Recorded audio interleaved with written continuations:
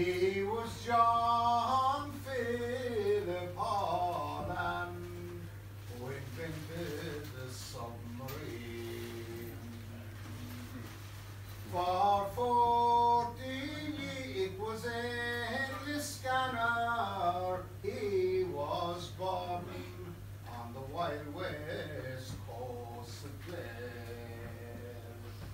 Not far from the cliffs of Moher that rise so high in the air. Liscannor Bay stretches far away from Hag's Head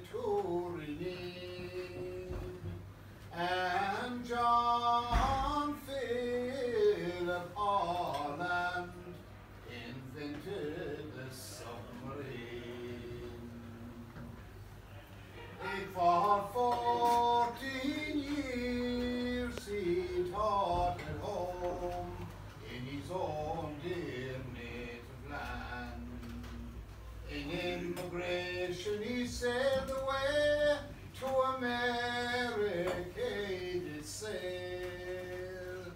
In Paterson, New Jersey, in his work he became quite keen.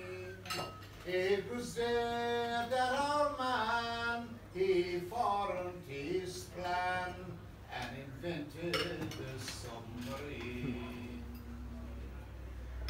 the U.S. Navy, they thought he was Tracy, his plan they thrown aside. But Holland paid no heed to them from his boat beneath the tide. The Fenian ram of 81 was also there to be seen.